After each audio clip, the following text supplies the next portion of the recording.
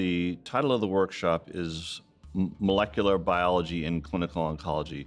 And uh, sometimes we, we quibble about whether we should change the name, but the, what it means is on people who are oncology trained, either medical oncology, surgical oncology, um, pathology, radiation oncology, basically any medical subspecialty that would kind of take them into some kind of cancer based clinical care investigation.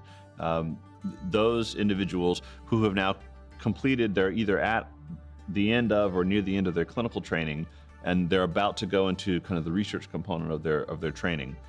The workshop is for people like that who are trying to figure out do they have what it takes? Do they have the the desire, the fire in the belly? Do they have the the skills needed to to um, take that leap into cancer research as a career? So every summer, 50 students come together in Snowmass, Colorado, together with faculty that are leading cancer researchers, but are mostly also uh, MD trained oncology, or if not oncology, MD trained and do cancer research.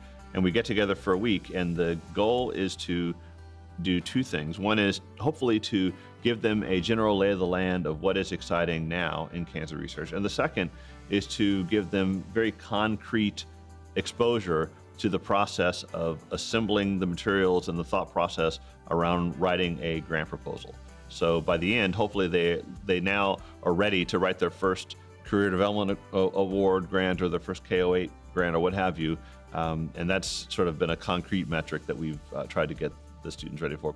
What many of them tell us is that they are they most remember the interactions, the networking, the opportunity to spend lots of time with leaders in the field, and um, that has been pivotal for them.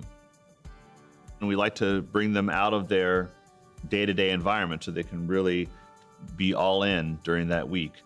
You know, they're up early, they're in lectures, they're in laboratory sessions, and then in the evenings they're working as teams to think about how to come up with an exciting grant proposal. It is a competitive application process.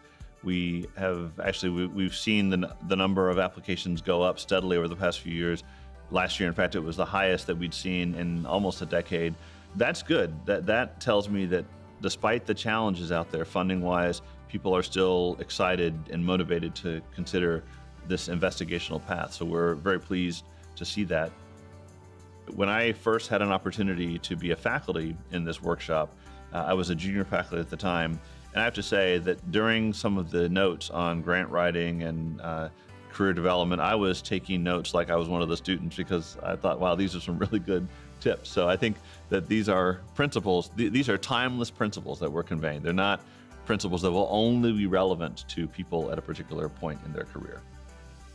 My first encounter with AACR was when I was a resident. I was a resident in internal medicine, so I had not yet started my clinical oncology training, but I was doing my clinical training.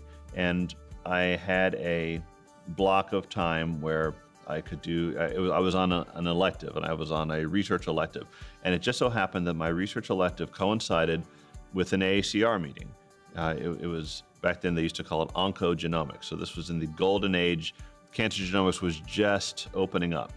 And it was a transformative meeting because, you know, I fly out there. I'm not doing any research yet, but I have a chance now to meet right away uh, a bunch of postdocs, junior faculty who are doing research and, and spend time with them and realize that, wow, this is not inaccessible. These are people just like me who are going up there and doing these, making these remarkable observations.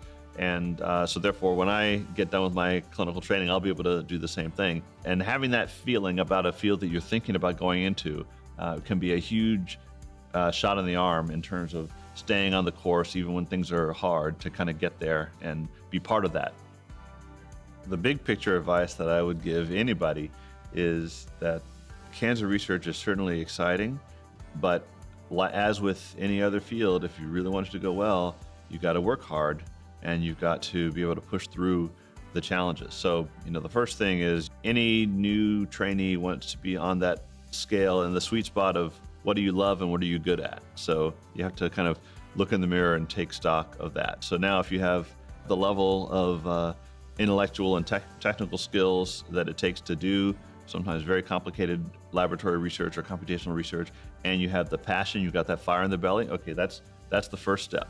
Then I would say the next most important thing is to choose a great mentor. And the definition of a great mentor is not just a wonderful scientist, but that the mentor should also be someone that you would be happy to emulate as a person because it's going to be a lot of work. It's going to be a lot of hours, a lot of sacrifice. So you've got to feel like who I'm going to be, not just how many papers I publish, but who I'm going to be overall. I see that in a mentor. So that's the second thing. And then the third thing I would say is pick an important problem. And that requires understanding the field, thinking about what are the unmet needs, what are the unanswered questions, the fundamental unanswered questions, and is one of these something where my training and expertise could make an impact and go for it.